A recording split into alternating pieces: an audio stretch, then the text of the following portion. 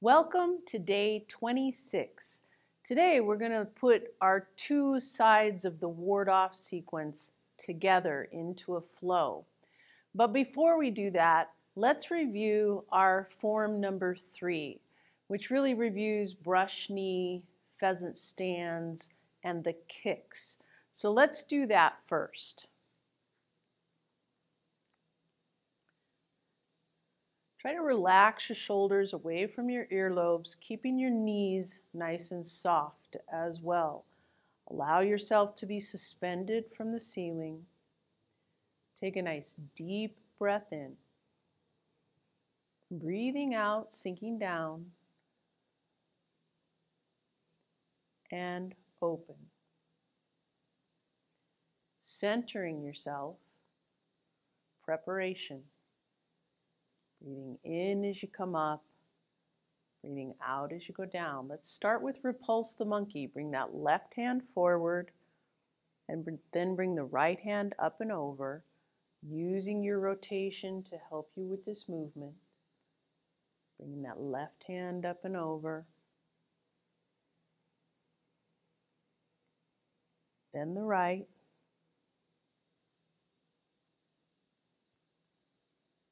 Then the left. Now I want you to take a nice deep breath in as you hold the ball to the right, step out, brush knee left, and breathe out as you do this movement. Then as your weight comes back and you shift to the left, breathe in with that hold the ball, and breathe out as you brush knee right. Let's do that again on both sides. Breathing in as you hold the ball to the right, Step out left and breathe out, brush knee. Then breathing in as you hold the ball left, step out right, brush knee right. Now let's move forward with brush knee. Stepping out left, then rocking back, holding that ball. Remember the hands change position with this brush knee going forward. Brush knee, rocking back, bringing the weight up onto that right, stepping out left, brush knee. And then one more, holding that ball to the left, step out right, brush knee. Keep the weight on that right, and you're going to come into your pheasant stands. Then step backwards, pheasant stands. Step backwards, pheasant stands, and one more, pheasant stands. Stepping down, just come into your wave hands like clouds. Nice and simple. Thinking about your breath again, breathing in as you come across one way, breathing out as you come across the other way. Now bring in your weight to the right. Lift that left leg and kick. Stepping down left, let the right leg become empty, lift and kick. Then stepping down right, now the left is empty, kick. One more, kicking right. Now stepping down right, hold that ball to the right, step out and brush knee left, but then come into your pushing chi. Bringing that weight back to the right and then to the left, holding the ball to the left, step out, brush knee into pushing chi. Now let's think about the breathing again. Step back, holding the ball to the right, take a nice deep breath in, then breathe out as you brush knee. Breathe in as you come towards your body with pushing chi. Breathe out as you push away. As you hold that ball, breathing in, then breathing out as you brush knee. Breathing in as you come towards your body with pushing chi. Breathing out as you push away. Then bring in your feet just shoulder width apart, weight is even. Let's push the mountains. Breathing in breathing out,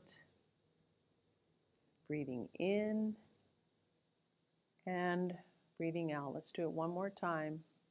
Breathing in, breathing out, breathing in and close.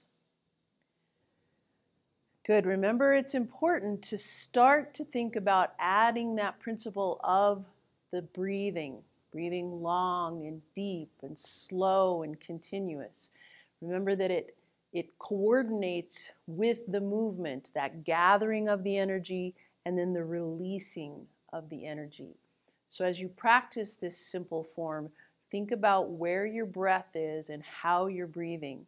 And then try to slow the form down so that you slow your breathing down as well. So now let's move on to putting the two sides of the ward off sequence together. So let's start by holding the ball to the left and we're going to step out on the diagonal with the right. Remember making that ball small and turning our torso to the right. That's your ward off. Allow those elbows to drop, grasp the bird's tail. Now the weight comes back as you pull that ball to your left hip. Then rotate, rotate and press, and pushing chi. So now to continue on to the left side, what we're going to do is shift our weight back to the left, let that right leg come back, and now shift your weight to the right, holding the ball to the right. Now you're ready to step out on the diagonal with that left foot. Bring that left hand up and ward off. Grasp the bird's tail. Bring your weight back as you roll back to that right hip. Then the weight comes a little bit onto the left as you rotate and press. And pushing chi. Good, so let's do that again. Holding the ball to the left, step out to the right, ward off, grasp the bird's tail, roll back, rotate and press, pushing chi. Now remember, the weight's going to come to the left. We're going to turn our hands just a little bit to the left just rotating on that central column. That right leg is now empty. Bring that right leg back. And then shifting the weight to the right, now we can hold the ball to the right. Step out on the diagonal, ward off, grasp the bird's tail. Roll back, rotate and press, pushing chi. Now let's just do it again on the right side. So what we're going to do is we're going to shift our weight to the right, bring our hands over to the right, let that left leg become empty, shift the weight to the left, and hold the ball to the left now. Step out right, ward off, grasp the bird's tail, roll back, rotate and press, pushing chi. Bring your weight to the left. Bring your hands over to the left. Step back with the right. Bring the hands down. Now the weight comes to the right, holding the ball to the right. Step out left. Ward off. Grasp the bird's tail. Roll back. Rotate and press. Pushing chi. Let's do both sides one more time. So bring your weight over Bring your hands over to the right, weights to the right, step back left, hold the ball to the left, now the weight's on the left. Step out right, ward off, grasp the bird's tail, roll back, rotate and press, pushing chi. Weight comes to the left, stepping that right foot back, now the weight comes to the right, holding the ball right. Step out left, ward off. Grasp the bird's tail. Roll back. Rotate and press. pushing chi. Good, so now that weight shift is very, very important in that ward off sequence to keep the continuous motion going, that feeling of water flowing. We're going to practice that tomorrow, so we'll not add anything new tomorrow. We will just practice this ward off back and forth and start to talk about that weight shift. I'll see you tomorrow.